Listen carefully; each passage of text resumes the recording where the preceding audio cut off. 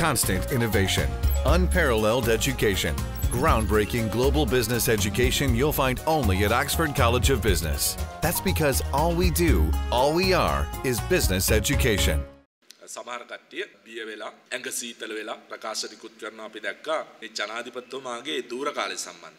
19 වෙනි ආණ්ඩුක්‍රම ව්‍යවස්ථාව පාර්ලිමේන්තුවේ සම්මත කරද්දී ඒ සංශෝධනවලදී බොහොම පැහැදිලිව අපි තීරණයක් ගත්තා ඊළඟට පත්වෙන ජනාධිපතිතුමාට තමයි ඒ වසර පහක් කාල සීමාව බලපාන්නේ කියලා. වත්මන් ජනාධිපතිතුමා පත් උනේ වසර 6කට. ඒ වසර 6ක් කාල පරිච්ඡේදය තුල මෛත්‍රීපාල සිරිසේන අතිගරු ජනාධිපතිතුමාට ඒ දූරේ කටයුතු කරන්න පුළුවන්. තීන්දුව තීරණ අරගෙන තමයි 19 වෙනි සංශෝධනයට අපි අත ඉස්සුවේ. එහෙම නැත්නම් අපි 19 වෙනි සංශෝධනයට අත උස්සන්නේ නැහැ කියලා අපි බොහොම පැහැදිලිව ශ්‍රී ලංකා නිදහස් පක්ෂය හැටියට තීරණයක් ගත්තා. දැන් ඔබතුමා කියනවා මේ පැතිවලට ආණ්ඩු කරන්න කරන දුලක ජනාධිපතිවරයෙක් වෙනවා. අපි අපිට කියන බලන්න ආණ්ඩු කරන්න කතා විතරයි 19 වෙනි ආණ්ඩුක්‍රම ව්‍යවස්ථා සංශෝධනය කියවගත්ත කෙනෙකුට දන්නවා කොහොමද ආණ්ඩුව වෙනස් වෙන්නේ කියලා.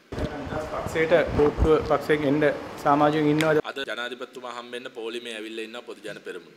පොදු ජන පෙරමුණ මුළු රට පුරාම ගිහිල්ලා බලමන්ල හද සංවිධායක කටයුතු භාරව හිටපු ලේකම් අනුරාධ පොල්ගම්පල මැතිතුමා අතිගරු ජනාධිපතිතුමාට සහයෝගය දෙන්න ගරු ජනාධිපතිතුමා හමු වෙන්න ජනාධිපති කාර්යාලයට ඇවිල්ලා ඉන්නේ. විශාල පිරිසක් එක්ක. පොදු ජන පෙරමුණ කියන්නේ පක්ෂයක් නෙමෙයි. ඒ අය බෞද්ධ ජනතාවගේ ඡන්දය ගන්න නෙළුම් පොහොට්ටුව කියන එක. නෙළුම් පොහොට්ටුව කියලා පක්ෂ ලාංඡනයක් නැහැ. මල් පොහොට්ටුව කියලා තමයි තියෙන්නේ.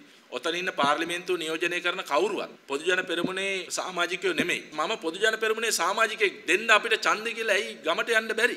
අපි ඉල්ලීමක් කරනවා. අපේ පක්ෂයට විතරයි ජනාධිපතිතුවරු තුන්දෙනෙක්ගේ හයිය තියෙන්නේ. ඒ නිසා මේ ජනාධිපතිවරු තුන්දෙනාටම ආරාධනා කරනවා ගමේ පාක්ෂිකයත් රටත් අනාථ වෙන්න දෙන්නේ නැතුව ශ්‍රී ලංකා නිදහස් පක්ෂයේ ප්‍රමුඛ එක්සත් ජනතා නිදහස් සන්ධානයේ ජයග්‍රහණය කරන්න තුන්දෙනාගේම ආශිර්වාද ලබා දෙන්න.